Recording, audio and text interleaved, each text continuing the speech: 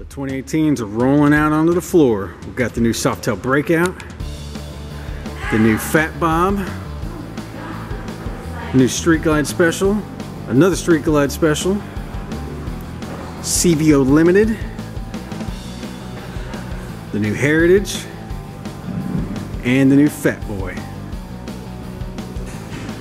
Get in and check these things out today. Twister City Harley Davidson.